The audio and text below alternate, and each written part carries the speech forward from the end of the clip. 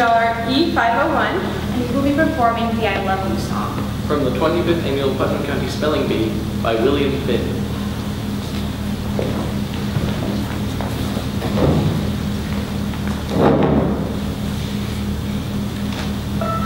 If I go to Washington, will I be on my own?